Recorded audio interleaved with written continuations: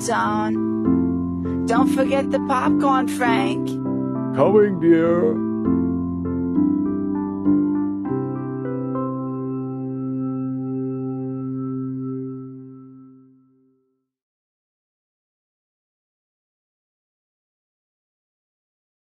Hi. Hi. Can I get everybody's attention? My name's Laura Stewart. I'm the program coordinator at the Saltmarsh Senior Center. Thanks for coming. A couple of things I would like to point out. One, this microphone is not for you, it's for the camera. So hopefully everybody can hear me in back. Mimi, can you hear me? Oh, I can always hear you. Excellent, excellent. I'd also like to point out a couple emergency exits. One is behind you, the big door to the, my left. You can also go out this door right here and probably the front door that everybody came in. Or you can go out through the kitchen at the end of the hall. To the left is an exit door.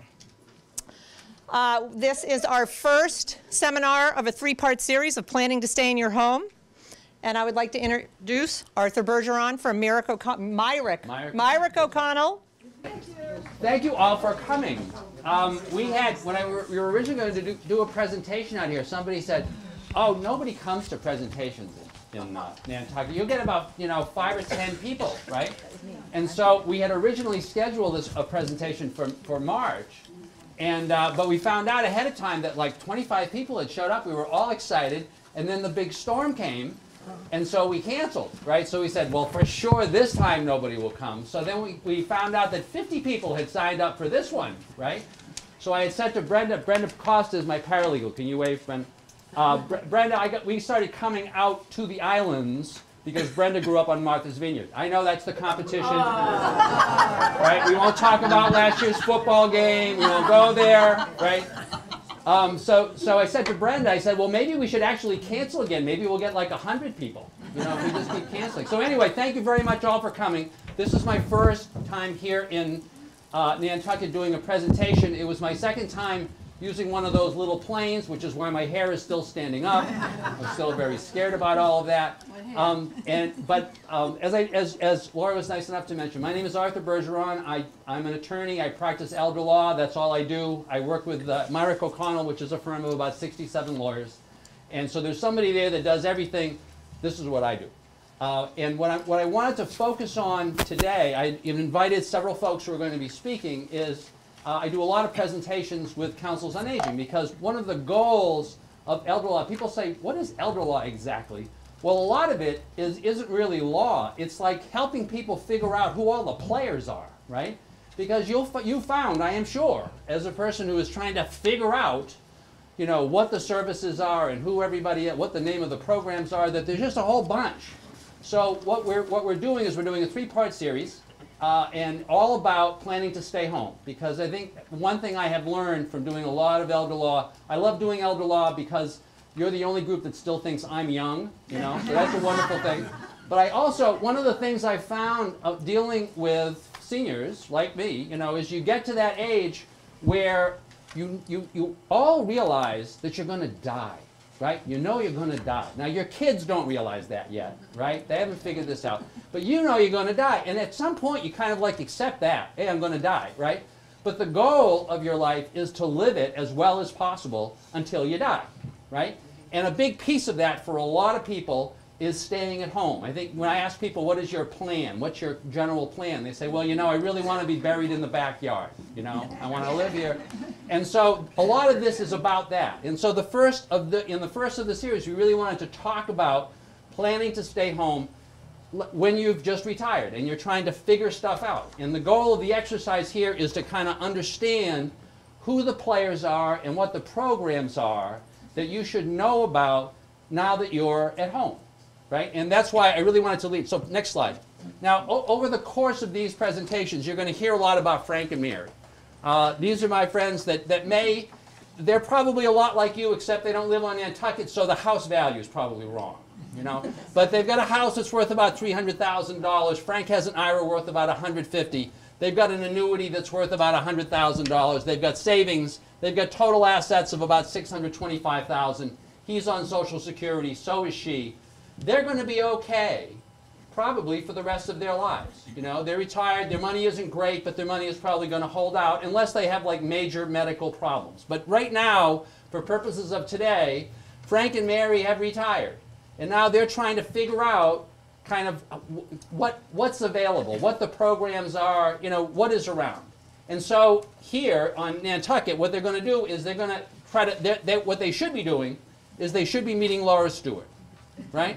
And, and Laura, and, and even though Laura is kind of, I could tell, kind of a, you know, a, a wallflower, so it's hard to, to really kind of, you know, get to know her. Still, you know, they should kind of reach out and meet Laura. So I've asked Laura to really come and talk about what, what, not just what the Council on Aging has to offer, but through this portal, through this window, what else you can find out there. Laura. Okay, so the Salt Marsh is the senior center of Nantucket. Uh, we have two boards. The first is the Council on Aging, which focuses to provide programs, activities, information, and volunteer op- opportunities for seniors. Uh, the Nantucket Center of Elder Affairs is the nonprofit corporation that does all the fundraising for the facility and the program's needs. Um, Next, look at that. You are good, Brenda. You're reading along. Everybody has a little pamphlet of exactly what I'm reading along, and it's also all the information that I'm going over is in the Salt Marsh Gazette that you either get in the mail or was on your seat. So if there's any information that you missed, you can look it up there or come and ask me afterwards. So our business office coordinator is Ann Medina, who is in the back office right now coordinating. The program assistant is Ginny Carrera, which everybody knows, I'm sure. Uh, program coordinator is myself, and our human services director is Pam Merriam, who is not here today. So the services that are at the Salt Marsh. Um, Shine is a service. It uh, stands for Serving the Health need, Information Needs of Elders, and it's a statewide program. And that helps with healthcare information, assistance and counseling with Medicare, beneficiaries of all ages and their caregivers. And we have a Shine volunteer, Phil Gallagher, who comes here uh, once a week on Thursdays from 1 to 4. You can call and make an appointment here, and you can come at that time, or he can come at another time that's more convenient for you. Does, does he help you? I'm the only one that gets to ask questions. I'm the lawyer, right? So does, Uh-oh. he, does, he, does he does he answer your questions about your drugs? So if you know, if, Yes. when it's December, when it's November, and it's time to figure out your Correct. Medicare D again. Yes, he just did that, and he was very busy. We also have a uh, veteran services, and our agent is Arnold Patterson, and he visits the Salt Marsh on Thursdays from 9 to noon. And you can stop by, or you can make an appointment with him. Uh, we also have hearing, hearing care services, and that's Barbara Eaton, and she comes from uh, Mass Audiology, and she's here the first Wednesday of every month. Call, make a reservation. Uh, she can um, perform hearing tests, she can fit hearing aids, and she's here once a month. Uh, congregate lunch is served here by Elder Services. We are just the host. They come every day, Monday through Friday, from 12 to 1, serve lunch.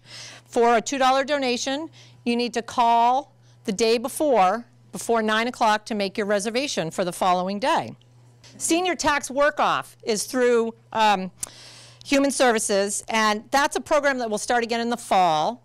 And that has to do with um, seniors who are matched with a town department who are looking for part-time volunteer work.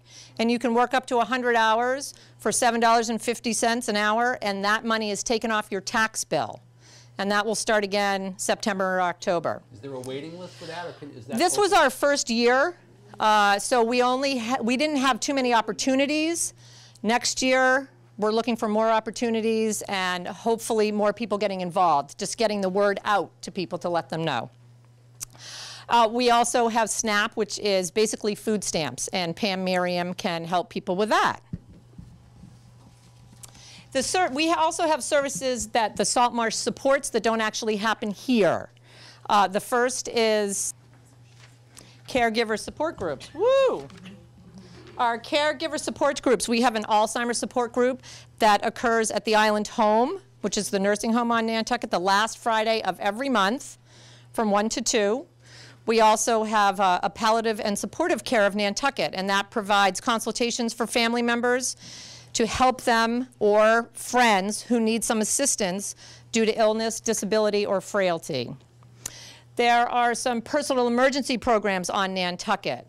There's the Isle Return Program and Safety Net, and that are programs um, that help public safety agencies manage the challenge of finding either children or seniors who wander. How does that work? Um, though, both of those have to do with buying certain, like a bracelet, an ankle bracelet or something for autistic children or people with Alzheimer's. And then they can, if they notice that they're not around, then they can track them through that. So it's kind of like a GPS system. We also have a, uh Nantucket uh, Senior Citizen Telephone Reassurance Program. And that works that you go to the um, police station, you fill out a form, and the senior needs to call the police station before 10, 10 a.m. every morning. And if the phone call isn't made, then the police station makes a phone call to the house. And if nobody answers, then the police go to the house. So it's a very comforting thing for family also to know about. There's also a uh, disability indicator form, which is a form that you fill out at the police station. So if you dial 911 from your house and you're blind or hard of hearing or broke your leg, there's an alert that comes up on the 911 callers list that tells them when they get to the house, this is the situation. So they know what to expect, which is also very helpful.